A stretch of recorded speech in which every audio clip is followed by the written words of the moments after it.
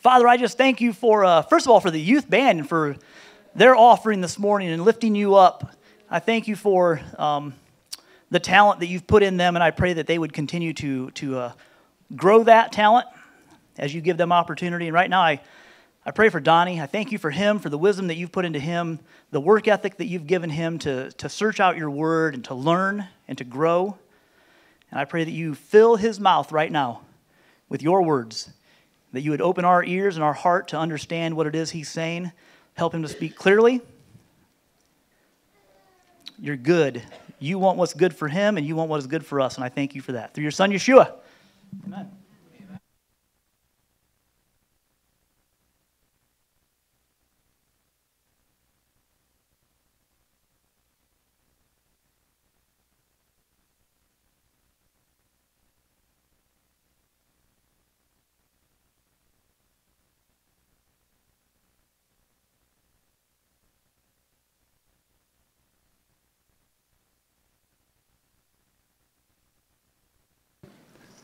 All right.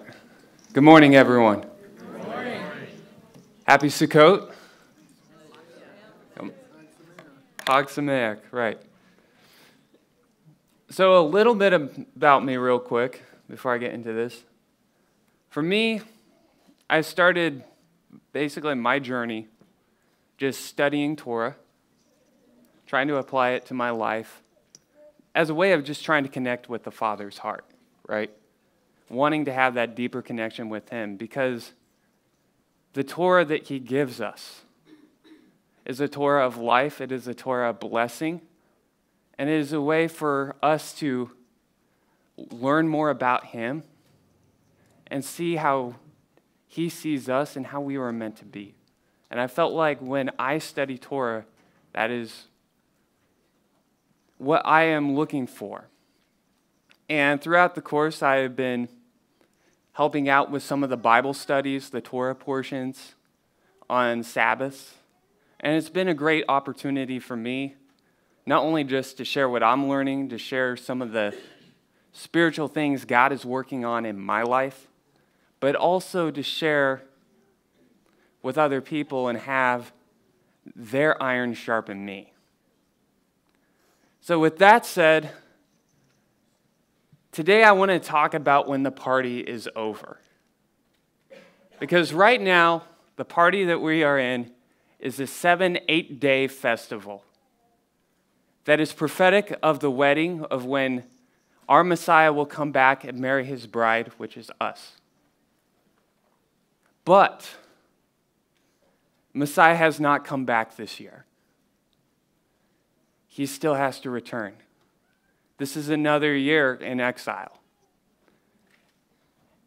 And there is, when Sukkot is over, we need to know how we are going to stand and what it means for us. Part of our ability to stand when the party is over is our concept of who God is in our life. Let me repeat that. Part of our ability to stand when the party is over is our ability to understand who God is to us. Many times, we look at the loving side of God, the merciful side of God, the compassionate side of God. And that is a very valid side of God. But there is also a side of God which is just.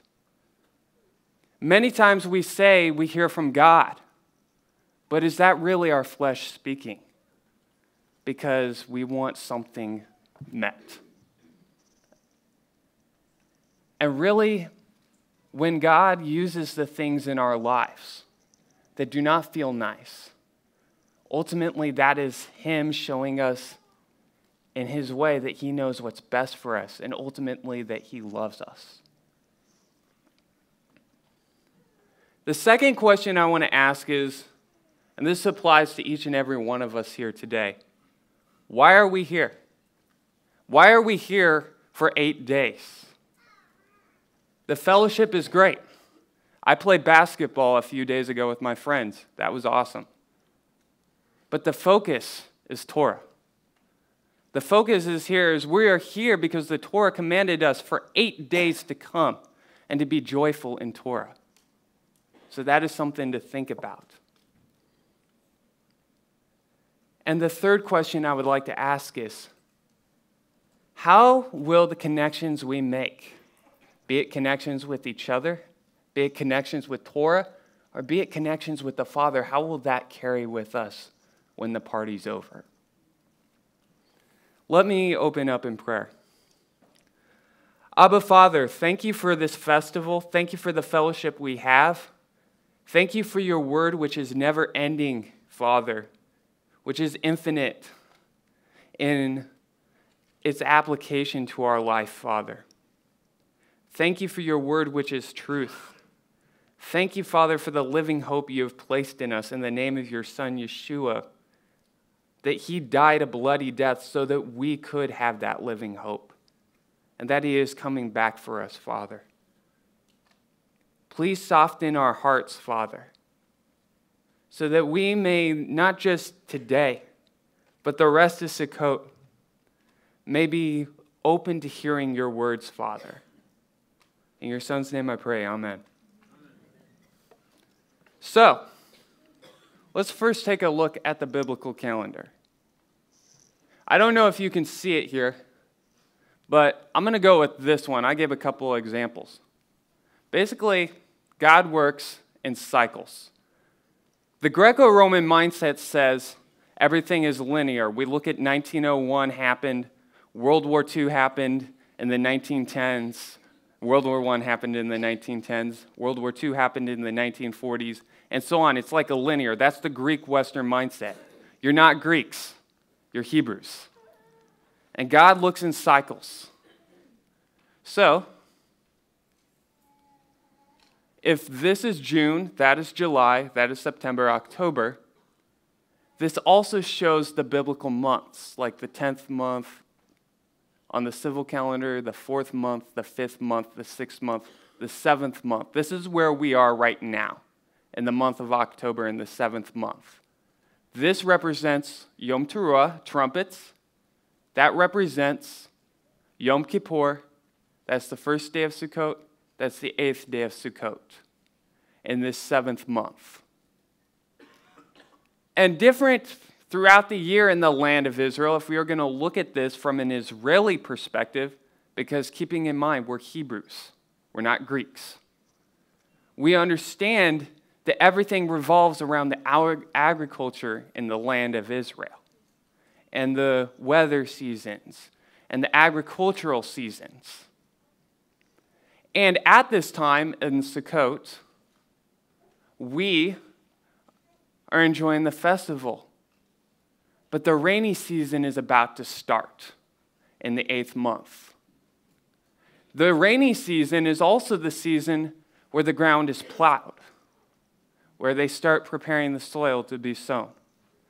Actually, in the land of Israel, it's kind of interesting because what they do is they sow the seeds first on the hard, rocky soil before the rain comes. Then the rain comes, and then they plow the soil when it's softened. Just an interesting side note.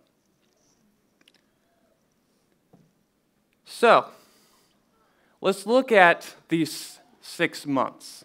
Currently, right now on the biblical calendar, we're in the seventh month. The sixth month represents a courtship period between the church, between God's children, and God Himself. Basically, the Jewish people, the Hebrew people, the Israelites in the first century had this mindset that in the sixth month of Elul, the month of repentance leading up to Yom Teruah, it was a month when the king was in the field, when you could go and you could work on yourself with the king, and you could prepare your heart for repentance. Then the seventh month comes along. You have Yom Teruah, you have Yom Kippur, then you have Sukkot, which is the month where you get married to the king. But then you have this month called the eighth month, Mar Cheshvan, is its like traditional name. And it is the month where you actually take what you learn from Sukkot the honeymoon period is over, and you're actually moving in with the king. So for you and me, that means in the eighth month, when Sukkot is over, we're going back to the mundane world. In the Messianic age, that means we are going back to the land of Israel, and we will be dwelling with the King in our lives. A key theme of the eighth month is water, because keep in mind that that is the month where it is the rainy season. That is when the rains come. They're called the former rains. They're the first rains, and that's when they come. It's also important to keep in mind that what you do now in the seventh month will prepare for how you are in the eighth month. Because the eighth month is a month of tilling, it's a month of upheaval. See, we're still in exile, so that means that there's still things that we need to work on. That means even though we confessed our sins and repented of the sins we committed in the seventh and sixth months, we still have those underlying patterns that cause the sin. You see, sin is a symptom of a faulty mindset. Part of tilling the ground is exposing what's underneath. It's about exposing the roots of the dead grass bringing it to the surface and breaking up the soil. Let me give an example. Many times, something that I've been conscious as as a young single guy, just preparing myself for one day that I may be married, is that noticing that a lot of us men have a lot of bondage, we have a lot of struggles we have, be it impurity, uh, be it anger, be it shame or whatever, and or selfishness really at the root of it all. And we have these things that we drag into the marriage, and we think marriage is the magic bullet for it. But we drag all this garbage into our marriage, and we expect the other person to be happy with it, and we forget that they're actually our other half. And they're the same person because now we're one flesh. And we look at them as another person, and my sin affects me, but it doesn't really affect them. But in reality, that's a lie. In the same way, in the eighth month, when you go back to the seventh month, you got married to the King of Kings at Sukkot. What are you bringing in in the eighth month when you're moving in with your bride, with your groom? You're the bride. What are you moving in with the groom and what are you bringing in? Because if you bring idols or patterns and vitals, and you may say, I'm done with those, but if those patterns are still there and you're bringing that in, don't think that the King of Kings will bless you. Don't think that your heavenly husband will bless you and smile at you if you have that in your life, if you have that idol in your life. The eighth month is about an upheaval to get to a point where you can be used of God, let me take a step back. To get close to God, to get closer to God, requires effort, it requires sacrifice. There's more you have to give up the closer you get to God. The eighth month is about upheaval and taking that out so you can get closer to God. And it's a painful experience. And there's a certain amount of surrendering to that. And sometimes we as believers tend to take discipline, we tend to take the molding process, the potter's molding, as an attack from the enemy when it's really just God working with us. And I was talking with a few young, few men the other night, and we were talking about to get to that point where you're surrendered to God, it takes being broken. And that's really what the point of the eighth month is. So, the month, the eighth month is called the month of Mar Cheshvan. It's the month of plowing. literally, the first, if you take the first three Hebrew letters, marach, you get to soften. This is a month where you're softening your heart to the words of Torah. You take Rosh, Resh, Chet, and Shin. You which means to move and to vibrate. But really, if you look at it in the Hiphil stem, which is like one of the tenses, it literally means to whisper. It's that point of surrender that I was talking about, to hear the voice of the Father. There's a certain amount of surrendering. You have to be broken enough. You have to be willing to hear his voice. You can't say, God, talk to me, if you don't want to hear what God wants to say. And it's, it's also related, the first Hebrew letters in Mar Cheshvan are a mem and a resh which make the word mar because it's a bitter, sweet experience, because it's bitter at first. Another interesting thing to consider is that Mar Cheshvan is also the month the temple was built, the first temple. It was actually not built in that month, it was consecrated in that month, which is kind of interesting on a messianic level because the eighth month is when we finally move into the house with our heavenly spouse. But in this verse, we also see that it is given another name. It is given the name Bul in the month of Bul. And Bul in the Hebrew means produce or outgrowth.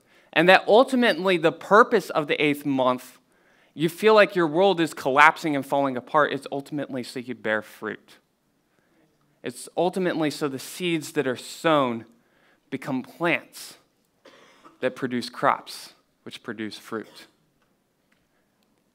It's also related to the Hebrew word bala, which means decay. In order for you to produce fruit for the king, something in you has to die first. That means you have to die to self. There is a certain amount of surrender. It is also called a flood related to the Hebrew word for flood. And I want to look at Genesis 6:17. It says, "Ani hineni mevi'i." I'm bringing et hamabul. I'm bringing the flood. And mabul is related to that Hebrew word bul for a reason, because it rained 40 days and 40 nights. So, stick in your Bible toolbox a number, and that number is 40. Why? Because 40 represents trial, because Jesus was tested, Yeshua was tested in the wilderness 40 days. The flood rained 40 days and 40 nights. Torah was given to Moses after he climbed the mountain and was up there for 40 days and 40 nights. It's a trial that happens in your life that bears fruit, and the result of that is a transformation in your life. The idea is that at the end of the 40 days, you're not the same person you were before the 40 days started. So, you may look at this as a bittersweet thing, but to the ancient Israeli, this eighth month was actually a blessing. And we look at Deuteronomy 11:14 it says, "I will grant you land, grant you rain for your land. Matar atzechem." And it's basically a response to the fact of obedience to Torah. That ultimately that blessing comes after you obey Torah. After you, part of obeying Torah, it's a two step process. First, you hear it. The purpose of Sukkot ultimately is so that we gather here to hear Torah and to rejoice when we hear it. And then the purpose of the eighth month is so you do it. So you do Torah. And it says, in response to hearing and doing of Torah, He will grant you rain. He'll grant you this season that seems hard, but really the purpose is so that you can be fruitful. Daniel, he prayed three times a day. What did he pray? We say Daniel prayed three times a day. What did Daniel pray?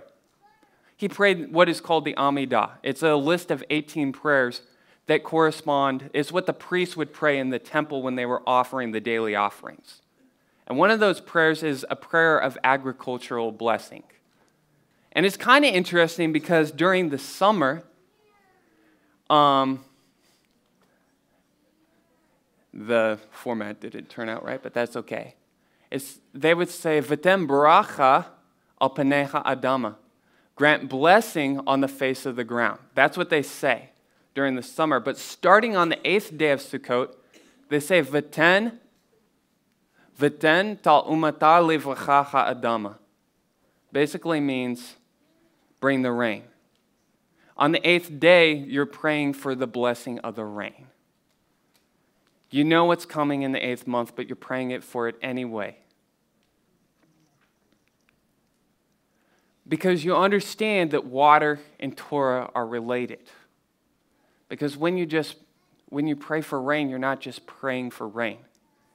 You're praying for Torah, which is the word of God. Isaiah 55, verse 1 says, Hoi kol tsema lochol lamayim. All who are thirsty come for water. And then Deuteronomy 32, verse 2 says, kamatar. May my discourse come down as rain. It's literally talking that the words of God themselves are like the rain and the water. So there's this connection between water and Torah that really, when you go into the eighth month, on an agricultural, physical level, you're praying for your physical, material needs to be met. But on a spiritual level, you're praying that your heart might be more open to Torah. I'm going to sidetrack. This was not a part of the plan. There's a verse in Psalm 119 which says, Gal anai, open my eyes to Torah.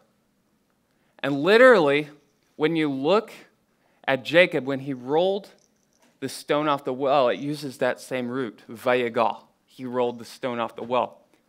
Ayin, my eyes, open galanai, that's the verse in Psalm 119. And eye is also a word for a well, represents water. Open my eyes to receive the well from the well of Torah, the water. Sukkot is all about water. Think about it for a second. Sukkot is all about water.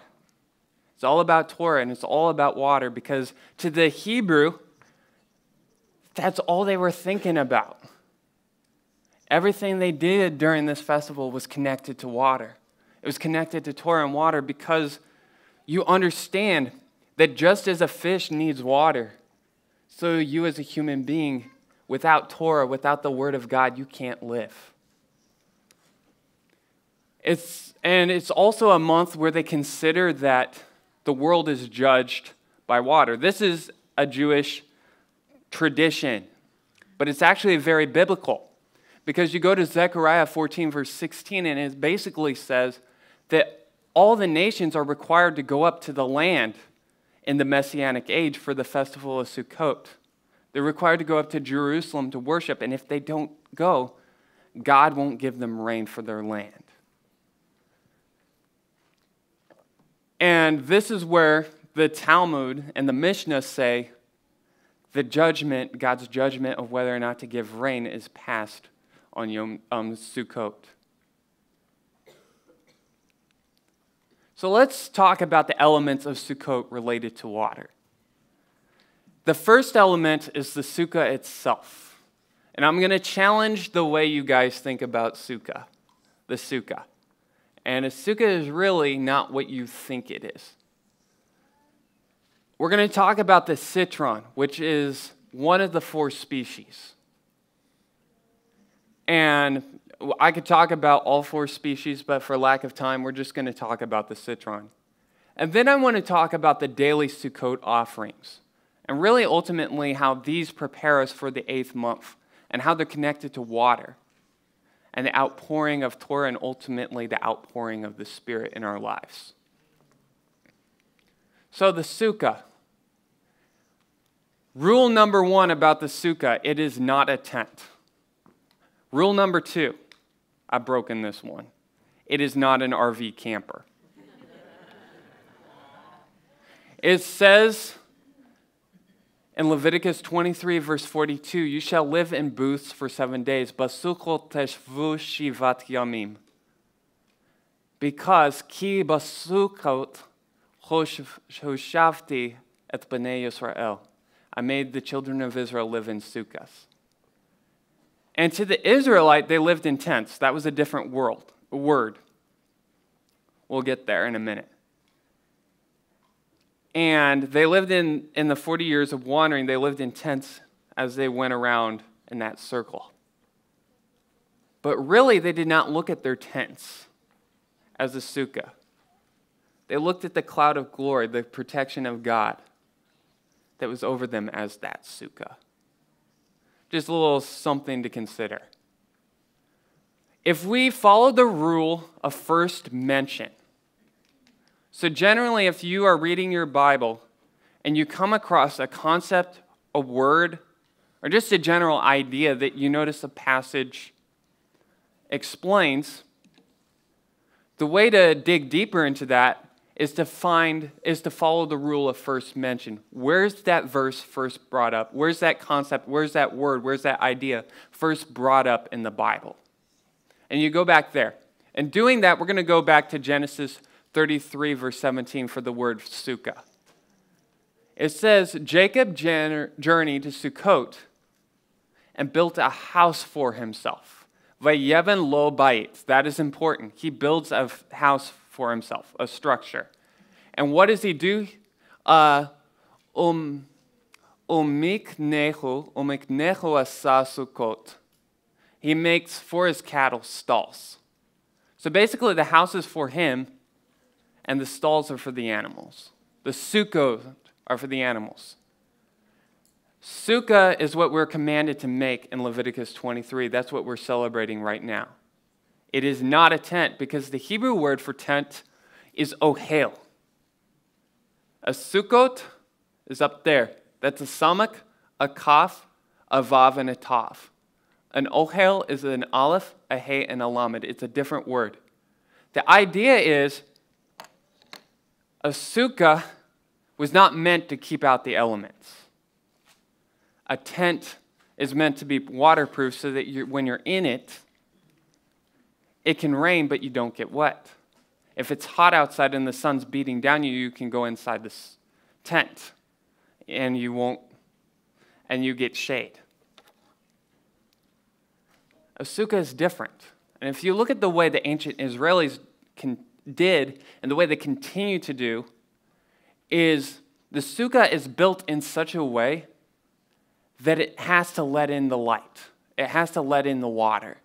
And the idea is your sukkah, if you were a first century or even before then, an Israelite living in the land of Israel, you had to build your sukkah in such a way that rainwater, if it rained, it had to get in. If there was sunlight, it had to get in. If you understand that light represents the revelation of Torah, and if you understand that water represents Torah itself, that means that you, as a human being, which is represented by the sukkah, you have to be, re- you have to be receptive to Torah. You, Torah doesn't just hit you and slide off and it lands at your feet and then drains into the ground. That's not what Torah is for. It's meant to seep in, it's meant to reach your core so that it changes you from the inside out. And that's why a sukkah is built that way. It's built like an animal stall so that you are exposed to the elements when you are in it. I want to talk about the citron, the etrog. It says, take the product of the chadar, the etz chadar, pri etz chadar. And literally in the Hebrew, this means the fruit of the beautiful tree. So if we, as Western Gentiles, we're not Western Gentiles, we're Israelites. But if we were to say for a minute that we are Western Gentiles, we don't know what a fruit of a beautiful tree is. It could be the olive, it could be a fig tree, it could be a pomegranate, it could be an apple. It could even be a lemon, but it's not. Because if you understand the culture of the ancient Israelite culture, there are things, like for instance, let me give an example. I say a soda pop. You all know what it is you know I'm probably talking about a Dr. Pepper, a Coke, or a Coca Cola when I say soda. In that culture, when you said a hadar, they understood that that meant the etrog. And you can actually look at the Roman coins that they made when they destroyed Jerusalem. This is, I'm just going to see if this is. There we go. And you can look at these Roman coins when they destroyed Jerusalem, and you can see even the ancient Israelites understood that the citron, the etrog, was that fruit. So, let's talk about the citron. It requires constant irrigation for growth. It has a long growing season. Basically, it takes all year for fruit to appear on the tree. It requires well drained soil. It is one of the true primary species, meaning that our lemons, our oranges, and all other citrus fruits stem from primary fruit uh, citrus species. Like our, when you go to the store and you pick up an orange, a lemon, or a lime, or a grapefruit, or even a nectarine, not a nectarine, but you pick a citrus fruit out, that's a hybrid. It's a genetically modified fruit. The citron's the real deal, it's the original. Another interesting thing is to notice is it's difficult to prune around the sharp thorns. As a plant, it can't really resist diseases in today's modern world um, without being grafted into another tree. You have to graft it into another tree to make it resistant to diseases. It also has a beautiful smell, meaning it smells beautiful, and it also has a lovely taste. So, the constant irrigation for growth, what does that refer to? That means you're constantly immersed in Torah. That means if you are the etrog tree, because the Bible says a man is like a tree, you are constantly immersed in Torah. The way you survive as a human being is you're constantly soaking it in. It takes a long time because it's a long growing season, but you also know you're in this journey for the long haul. It will take a long time for you to bear fruit, but you just keep plugging along. It requires well drained soil. That means that basically you don't like stagnant water.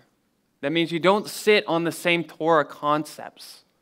You take what you learn and you apply it. Also, you don't stay on the milk of the word, you move on to the meat. You're constantly searching, you're constantly hungry. It's living water, it's mayim chayim, it's moving water that's moving in your life and creating change. It is one of the true primary species, which means it hasn't been mixed with the world.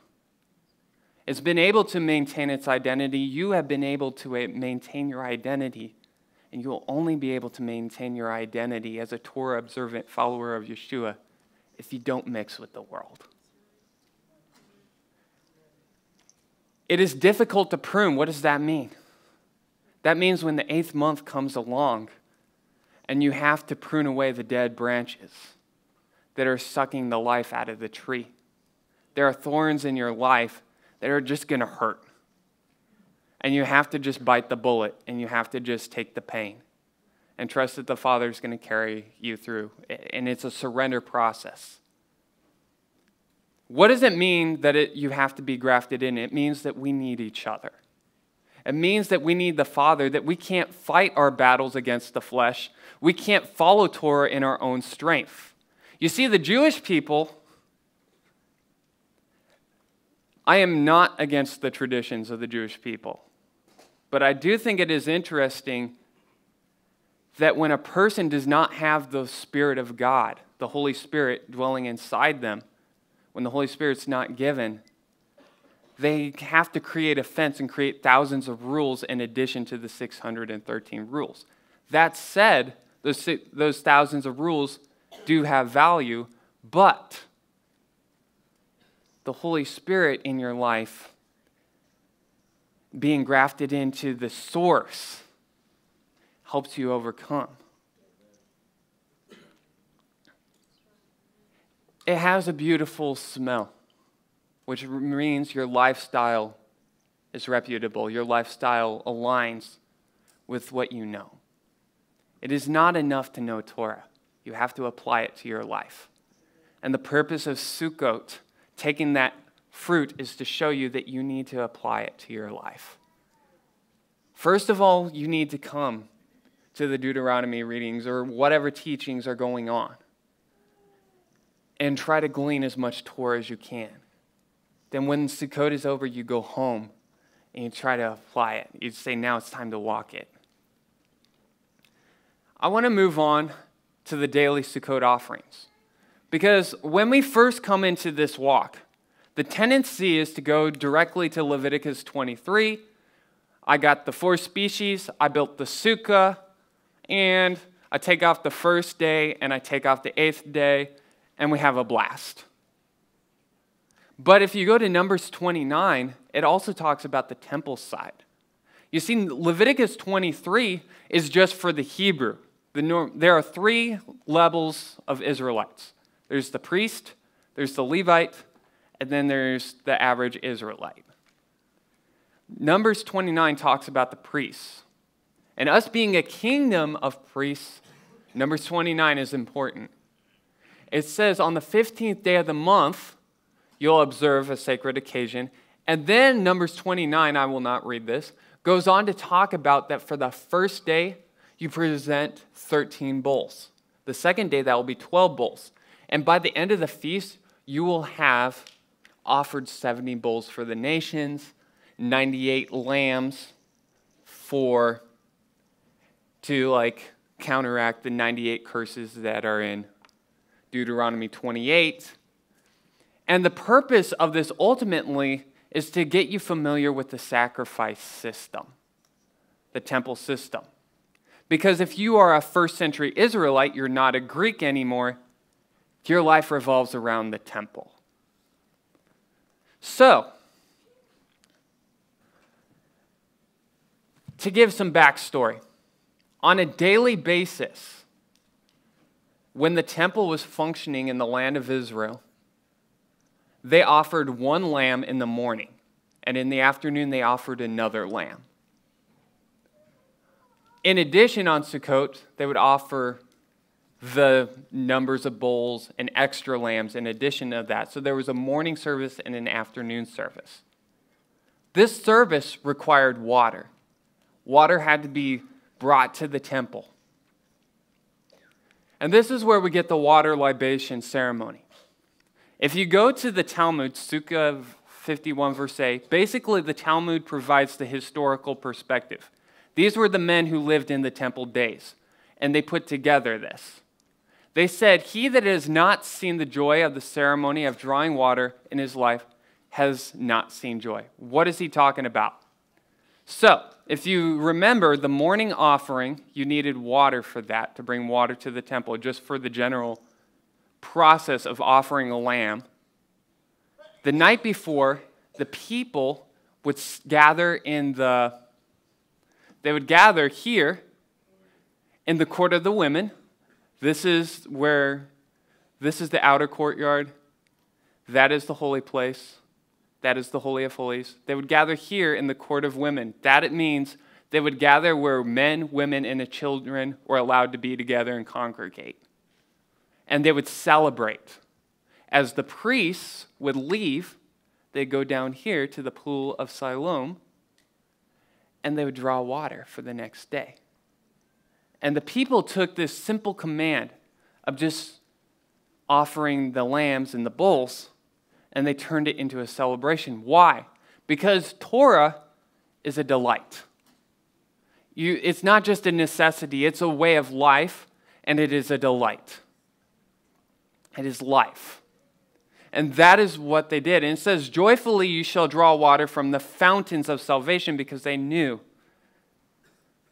it represented something deeper.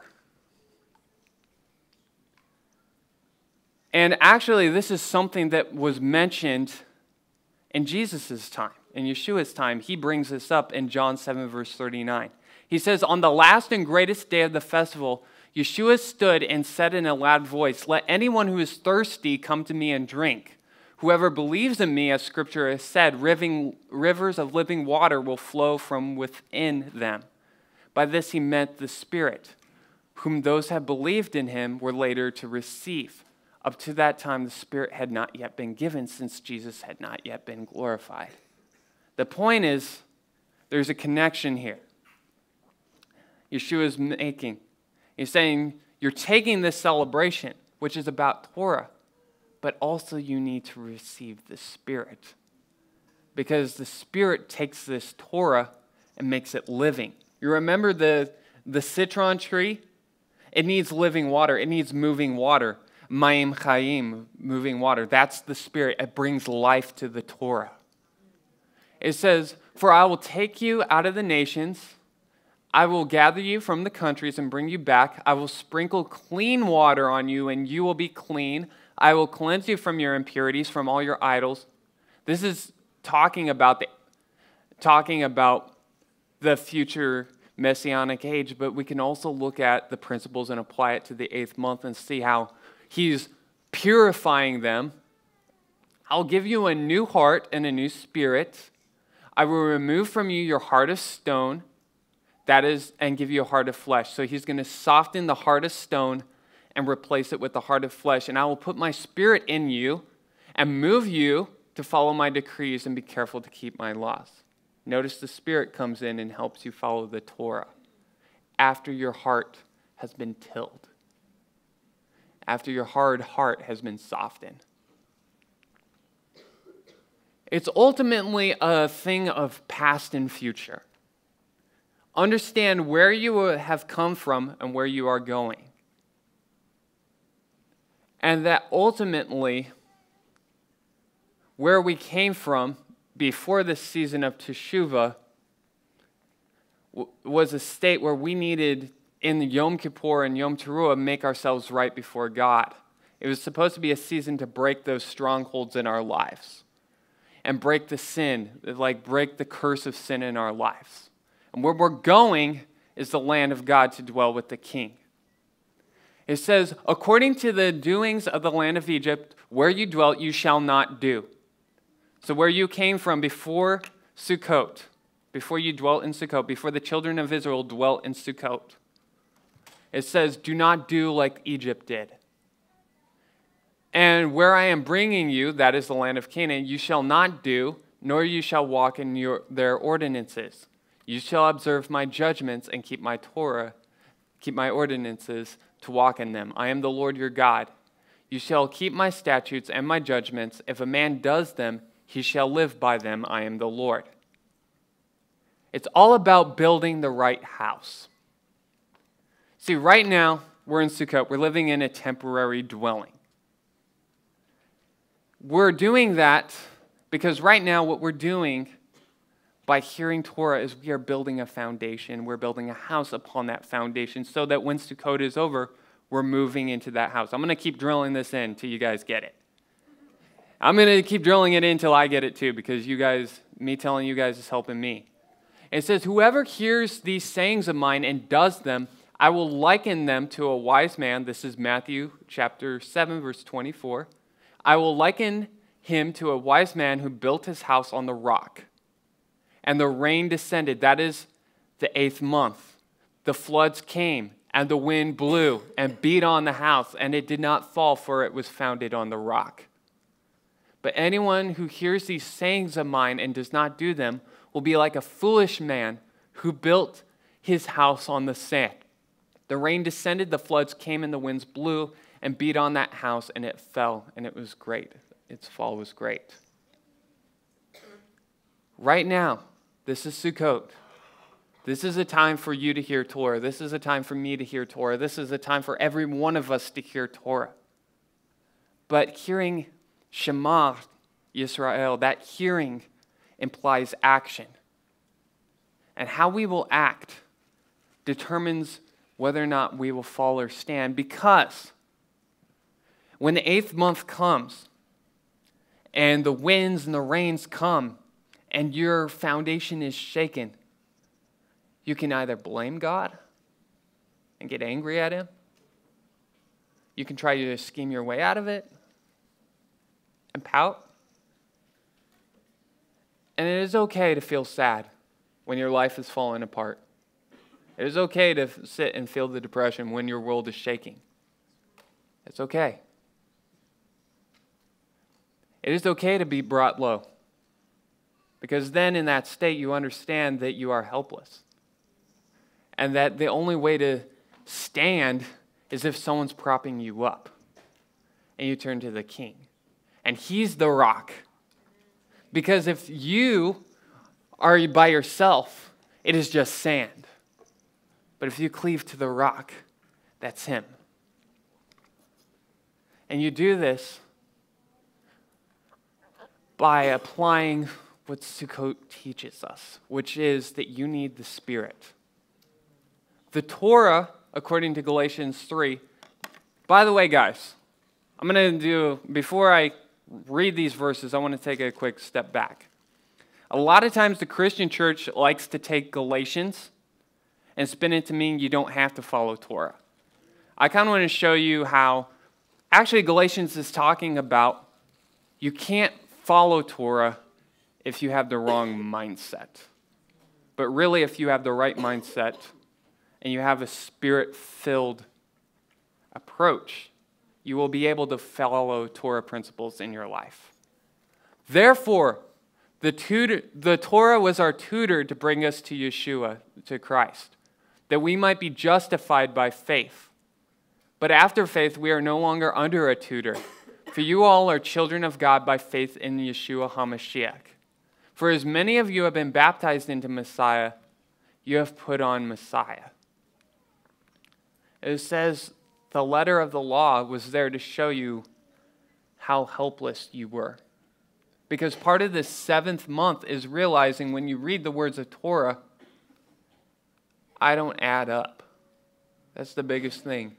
It's a funny feeling when you try to follow Torah to the letter and you want your life to be an offering and you realize that you still don't add up that your offering's there and it still still doesn't add up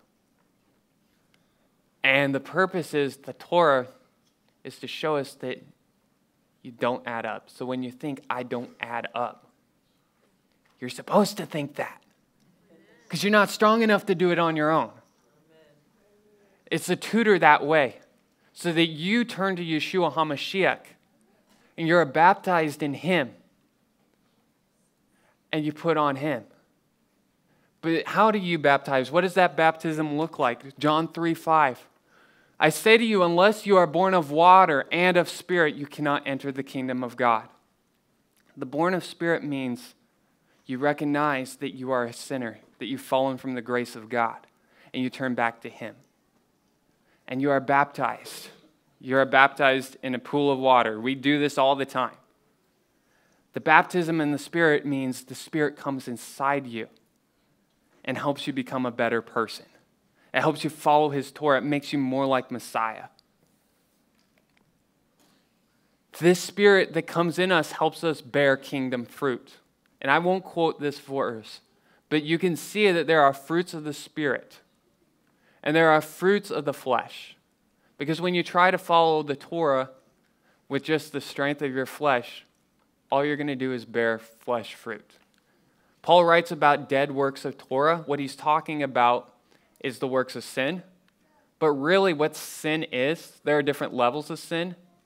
But one of the layers of sin is missing the mark, meaning you try your hardest to follow Torah, but you're still missing the mark.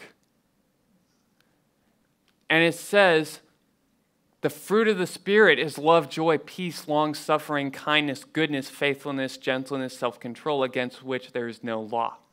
And that law isn't the law of man, it's the law of God. There is no such Torah command against these fruits of the Spirit. That once you have a spirit filled life, you are in line with Torah. So, why is it important?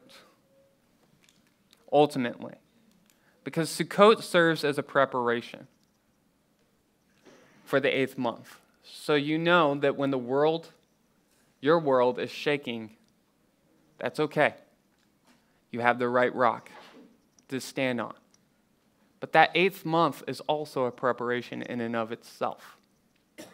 The eighth month is there to teach you that you can't stand on your own and that you need to rely on the king. And you need to know Torah. What does it mean? What's the difference between hearing and knowing? Because when you hear and you do, that becomes knowing. You know it in your hands because you've been, it becomes, we call it muscle memory. The idea is that Torah becomes so living in our lives, we know it because we're doing it. And we take that knowledge and it helps us. How does it help us? How does it help us? Because we are living in the last days. We're living in the last days. The king still hasn't come yet. Yom Kippur, Rosh Hashanah, the trumpets blew. Messiah did not come. So, we're still in exile. There's still an awakening occurring. And part of that awakening means that more and more people are coming. But the danger of that is that we are warned, according to the Bible, that in the last days there will be false prophets who will rise up in our midst. And the purpose of the eighth month is to make you know Torah so well that when the false prophets come, you will be able to spot them for what they are. You see, a true prophet of God should draw you to Torah. It should show you that you've fallen from Torah, that you are unable to keep Torah. It should point you to the grace of God and should show you how to receive that grace and how, through the help of the Spirit, to make the Torah that you were once not able to fulfill with, not able to follow, become a part of who you are, become an essence of your being. A prophet who is false will tickle your ears. And this is something for each and every one of us to know. So that we, as the bride of Messiah, will be spotless when he comes.